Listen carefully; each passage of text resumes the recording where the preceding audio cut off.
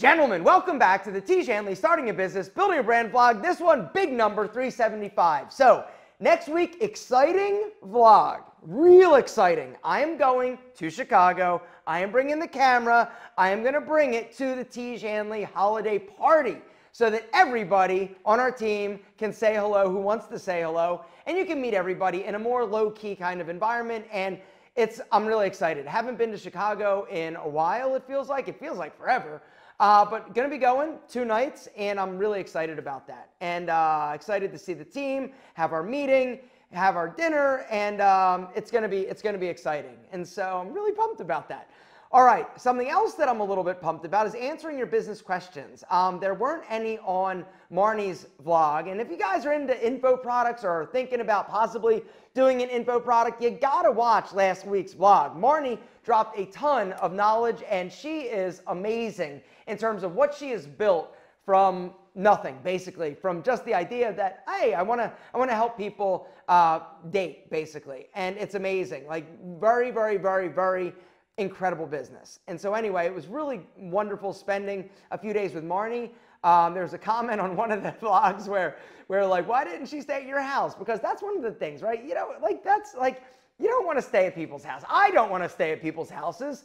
And uh, my wife would have been cool if she stayed at my house. I just thought it, it's weird. I'm not having somebody stay at my house unless it's like Antonio, right? Whatever.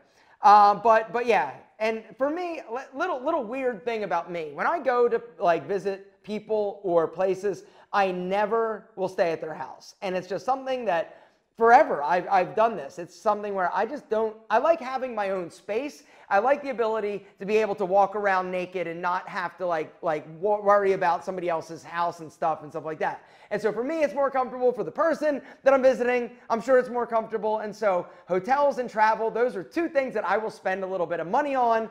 Um, also, speaking of money, I want to talk today a little bit about an investment opportunity for you. No, I'm kidding. It's an investment that I'm starting to dabble in the exploratory process on.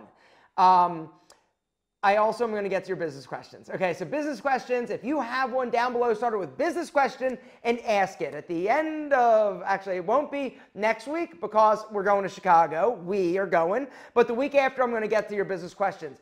The questions from today that I'm going to answer actually from two vlogs ago because there were some incredible questions that I just did not get to. I didn't have the time. I monopolized it. Um, something that I have been doing that has been monopolizing my YouTube consumption has been a gentleman by the name of Ben Mallah. Um, he's a real estate guy. Uh, he's kind of like a, a heavy set dude. He's got a beard. He smokes cigarettes, and he's just like he's like just a just a dude, right? And um, so I've started thinking a little bit about long term in terms of like investing. I really like real estate because it's like a tangible thing, right? I understand like I never really got into crypto. I never really got into, you know, I do have investments in like the market and different things because I understand that you need to basically diversify. Having money in a checking account is definitely not a good place in terms of of investing, right? You're not making any money on your money. But for me, as some of you guys have known or know because you watch my vlog, I hate debt. I hate debt. It just doesn't feel good for me. And so for me, up until this point, it's always been about, you know what, if I can pay cash for something, I'm going to do it. And I know that I've got an opportunity cost. And a few years ago, right, it was a bigger opportunity cost because if you say have a million dollars, right, and if you're paying a million dollars and you don't have that money invested somewhere else, you know, if it's just tied up in a real estate asset or some asset, you're not making a percentage or a return on that money. It's sitting there, right? Which is why most people, when it comes to investing, they want to use somebody else's money, right? Bank's money. Instead of paying cash for everything, they'll put 20% down and then they'll take that other money and invest it knowing that they can make, say, 5% or 6%. All right, you know you got to pay the bank their percentage or their, their, their interest, but you're still making the delta or the difference, right? And that's how people really build, you know, or I should say collect assets and, and really build on, on their investments. For me, I haven't been doing that. I have been basically buying something, I'll fix it up, I'll do whatever I do, and I pay cash for it, and I leave the money in there. But the more I sort of think and the more I kind of go down the rabbit hole of, all right, how do I really want to invest my money moving forward, I keep coming back to this, this commercial multifamily kind of thing, right? Apartments, basically. Um, you know, we have played around with uh, my wife and I. We had a rental unit a long time ago. She bought it. She bought it. It was bank owned. She put a few thousand dollars into it, fixed it up, and then rented it out. Made like $1,200 in rent. Her mortgage payment, I don't remember what it was at the time, but at the end of the day, she might have put a few hundred dollars in her pocket. Um, and then they moved out. It was trashed, and she's like, "Listen, we're not we're not landlords. We don't. I don't want to do this." And so she sold the property. Um, she had it for X number of years, which meant there was some tax benefit, and she made you know maybe fifty thousand dollars, twenty thousand dollars. I don't remember exactly what the amount of money was, which was pretty good. It was a good investment for her. It seems like a whole lot of work for a little bit of money, right? But what I keep coming back to is this whole multifamily you know, apartment sort of complex, somewhere between 10 to 30, you know, units in that range. And so what I've been doing recently is, okay, what's out there? You know, what is the what is the what is the numbers? How do the numbers work out? You know, if they pay this rent, if you get a loan for this, if you're paying this and you're getting this cap rate and what your, you know, your income like so I'm starting to kind of go down that rabbit hole and it's really kind of got me thinking and it's gotten me excited honestly. Um, I've been watching a lot of the gentleman Ben Mallah, his uh, his videos online, and um, he's a real estate guy on YouTube. He is pretty just like he's like he's a heavy set dude who smokes. Like there's no mistaking Ben Mallah. Um, you know, Grant Cardone is another one that a lot of people obviously are familiar with. And he has a lot of incredible things to say. I don't necessarily really connect or relate to him, but Ben Mallah, for whatever reason, maybe it's because he's like honestly feels like a family member that's just giving me advice on like, all right, so this is what you need for the deal. You need this, you need this, you need this, and this is the numbers. Boom, go out and do it. Like it makes sense if it does this, right? And so it's so simple. It's like it's it's it's more kind of it's more appealing to me. And he made it accessible to me, which really was something that I needed because you know to go through and really try to understand um, with some of these other courses and stuff, I just didn't have I didn't have the capacity, and I also um, don't trust. I don't trust a lot of people in terms of you know how to get rich and how to make money on this and that. There's just something about Ben that that I watched a few videos and I'm like, okay, it makes sense. Like it just clicked. I'm gonna link to down below two videos from him that for me just kind of made it like kind of click. I understood it a lot more than I did before. You know, I didn't understand really like what a cap rate was and all this different stuff. And so anyway, I've been starting the process of kind of exploring that. And um, and but this time, instead of me like putting up all my cash, I am definitely going to try to get a loan for 80% of it if I can do that. Um, the tricky thing now is that because money is so expensive and their interest rates are so high, you're not going to make as much as you would have a few years ago, right? Because you know if you're getting charged five percent or whatever it may be, you know, that's a lot, especially if your cap rate is like seven. There's like 2%, you know, that you're at. Like, anyway, there's, there's a lot that goes into it, but I'm excited about it. And I've been looking at a few properties. Um, I'm looking specifically in the state of Georgia at some of these, um, these assets. And there are a few ways to make money at it, right? You go in, if it's already a nice place, you know, you, you basically keep it being a nice place, you get it rented out 100%. And then, you know, over time, possibly you do some improvements or you raise the rent a little bit, and that's how you make a little bit, bit, little bit more money. But there are other places that are like kind of like crappy that you would come in and you would fix it up a bit. You know, you paint the walls or you paint the building, you put in new tile, new carpet, you know, new kitchens. You know, you spend a little bit of money, but now your asset, instead of costing you a million dollars, is worth $2 million. The other cool thing about those scenarios is that you're also able to um, increase the rent a little bit and, and make more money that way. And so there's a lot of different ways, but I will keep you posted as I kind of go down this, this rabbit hole and as I start to learn a little bit more. Um, nothing is, is, is under contract yet, but I'm starting to learn. And it's also something that I, I want my wife to get involved in a bit more because, you know, with her retirement and her kind of you know, looking for things to do, I think this might be a cool thing for her because she also likes real estate. She's also really good with numbers and she's smart. And so having somebody that pays attention to that area of our business um, would be awesome.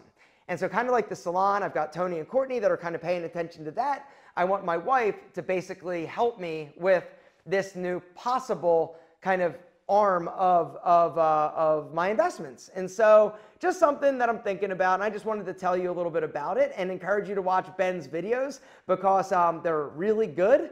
And uh, he makes it so digestible and easy to understand. And like I said, he's kind of like a, he feels like a family member because he literally is like my uncle. Like I've got like 10 of him in my family. Anyway, uh, now what I want to do is actually get to some of your amazing business questions. If you want to hear more though about the commercial real estate possibility, and as I go through that, drop me one of these and down below say, yo Alpha, tell us more about this potential real estate situation. All right, so this first business question comes from our friend Sackman848. He says, I run a health and fitness company. We're doing very well. We have a team of eight. Congratulations for the record. And uh, fitness, obviously, something that I'm very passionate about. So the fact that you're making it work, congratulations. I could not. Things are good, but we have not hit the point of true financial freedom yet. And for the record, I don't know what true financial freedom means. So if you have a better explanation of what that means, I would love to know down below. Please let me know. Say, yo, in my opinion, this is what financial freedom means. Um, because the other day I was talking to Marnie and we were talking about wealthy. What does wealthy mean? And I'm like, what does it mean? I don't even know. And, um, and so anyway, just one of those abstract things that I was trying to think about. This Q4, we have issues with our Facebook ads and had the worst quarter in our history. We just broke even and it kind of freaked me out, which means if you think you broke even, you probably did less than break even. Anyway, um, we're not in any financial danger, uh, didn't touch the emergency, emergency fund or anything. How do you go about managing cash? If uh, I feel like we're on a great trend up, I'm ready to make big financial commitments in my personal life, but, uh, but then this happened, and now I'm a little nervous to make any big moves with long term commitments. What do you think? I think you're smart to put the brakes on a little bit. Um, yeah, I mean, I mean, having you you recently started this business. Um, I don't know how recently you started it, but you know the, the economy is a weird thing right now, right? I think everybody is kind of like, wait a second, I better I better I better hold on to this cash a little bit because I don't know exactly what's going to happen. But as somebody said, when there's blood in the streets and people are scared, that's when you should be investing, right? Well, maybe. But you see what happens and how it feels last quarter, right? Q4 was bad, right? Hasn't started to trend back up? Are you seeing a trend? Because in the health and fitness industry, right? January, that's like, that's the money month, right? January is when you make a lot of money, you get a lot of new members, people are amped, people are pumped, people are ready to take on those New Year's commitments or New Year's resolutions. So January is kind of like probably, in my opinion, I don't know technically what you do, so I don't know if that's true, but I would assume that your business is doing well now. Now the fourth quarter, you know, that's three months. You know, how did it do? Like, where was it? Was it was it flat? Was it going down? Like, like there's a lot more to this story. But in terms of really, you know, making big commitments now, you know, you also need to know what the psych cyclical nature of your business is, right? Do you every de- every th- fourth quarter is it like crazy down and you know that okay, this is just the way that it's going to be and so you prepare and plan for that. Because if you know that it's not going to be straight up and to the right, you know, you can plan for that. But this was a good eye-opening experience and it may be a benefit that you learned it, honestly. Even though things suck and and you're like, "Oh, damn, I didn't make the money I wanted to and things are things are down." Right? Was it a learning experience that you needed to learn because if not, you know, what, what happens, right? You know, COVID was another one of those like out of the blue scenarios that nobody really saw coming. But then it's like, oh crap, we're in it. And if you were a restaurant or you were in the food service business or a lot of other businesses, even, even clothing, right, took a huge hit. And not just for a month, it was like years of, of, of troubles, right? And you couldn't see that coming. The people that were safe, the people that didn't overextend themselves and grew a little bit slower, were probably in better financial positions. Um, and so, what I'd recommend is be careful, don't do anything too crazy. See how things start to play out this year and see what happens fourth quarter.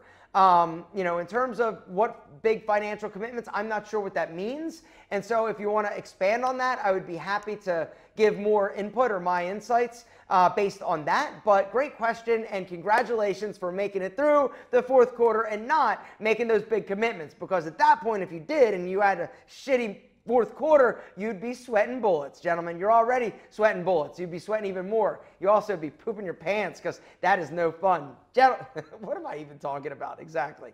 The next business question comes from our friend Sanser. Uh, that is a long name. I don't even know. Wanted to ask you on the strategies and psychologies of selling and marketing.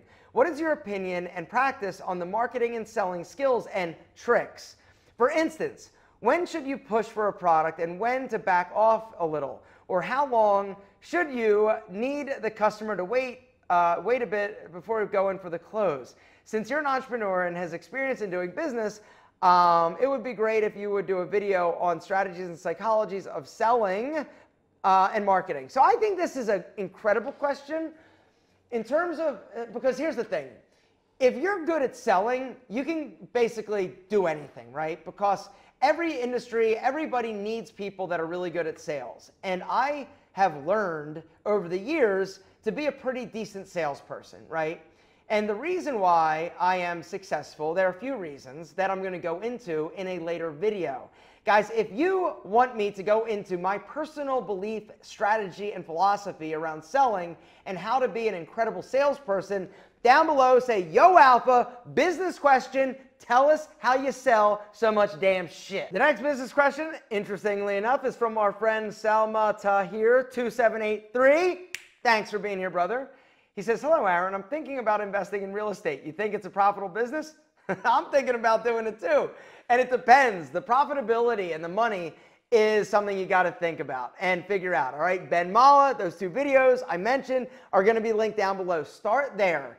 And um, I think I think Ben's awesome, but I'm biased because he literally is like my Italian uncle. The last business question is an awesome one, and um, it's also kind of about real estate a little bit. It's from our friend uh, Nomad Over Normal. He says, Can you tell the story of your journey with office space for the YouTube channel? When did you first know you couldn't film at home? How long did it take until you could afford it? Why did you financially justify not using a spare bedroom? Did you rent somewhere else before you bought the studio space? I'm coming into my own as a self um, employed creator, and even though I'll be earning much more, I can't imagine justifying the money to work out of a commercial property. So you're smart. You shouldn't if you don't need to, right? For me, um, it was more about Pete and Pedro than it was about filming from home. And uh, at the time, I was filming in my basement. I had my little gray like screen up there. I had a camera. I had all these cheap ass like Home Depot lights, and it worked really, really well. Uh, but I was operating Pete and Pedro out of a spare bedroom in my house. And so it got to the point where I needed help. And I did not want somebody to come into my spare bedroom in order to help the work, right? And so I was like, all right, I probably need to look for a space that I can operate my, my, my Pete and Pedro business out of. But also, while I'm at it, I might as well kind of think about possibly setting up a better, higher quality studio. And so it was just kind of like dumb luck. I was running around Marietta. Um, as you guys know, I live in Marietta. I love this area. And there was this building that I fell in love with. I saw it. I was like, my God, it's incredible. It was an old sock factory. And I even drove my wife by this building. And I'm like, someday we're going to live there. Someday. Like it was total like manifest, manifest, manifest, you know, manifestation of like what I wanted, right? And then one day I was I was I was looking and I was just running around the square. I was looking to see if there were for lease signs. I went and I looked at some property, um, a lease. It was a building. I was like, ah, I don't really really love it. It's not really that cool. And all of a sudden, I saw a for sale sign at my unit, and it was in the bushes and it was kind of leaning over. I'm like, wait a second, let me go check this out. And so I called, and it was like three hundred thousand dollars around there. And so at the time, I'd been making a little bit more money and I had the ability to actually, you know, put a down payment down. Up until that point, you know, I wasn't making much money, and so um, it was not something that I was really looking to do. And if I hadn't had Pete and Pedro, I probably still would be just filming videos in my basement, right? Because it's cheap and the justification of, of a space doesn't make sense. Is it going to help you make more money? If the answer is yes, then possibly do it. If the answer is no, it's just a cool space, then the answer is no. The other part for me was it did give me somewhere to go, which I like not being in the same place all day, every day. And so for me, um, when I decided to kind of go full time in terms of like being a creator, it was nice to have an office to go to. I felt more productive. When I came here, it was all about business. When I went home, it was all about being home and editing videos and working from home. Um, but but no, it, it allowed me to sort of separate my life a little bit more, and that also is something that I, I very much enjoyed. But for me, what I would recommend is until you need it, don't do it. Stay home, do your thing. If there becomes or if there's an opportunity to, you know, lease a place or if it's something that you feel is going to help take you to the next level, which a lot of these creators they do, right? They have staff, they've got studio, they've got, you know, different lighting, they've got a lot more capabilities, you know, in a blank space or a warehouse or something like that as opposed to in a spare bedroom. A spare bedroom is limited, but there are a ton of creators that make a gazillion dollars that are just operating out of their spare bedroom. There is no need for a lot of people. So it really boils down to you, what you need, what you want, and being smart. And for me, what I would recommend, since you're kind of just starting, getting your feet under you, and you're starting to make money, don't rush out and spend it. Save it, invest it, do what you can do to start earning more money. And if the time comes where you want a space, then you'll have the cash to do it. And that is the story of my office. Yeah.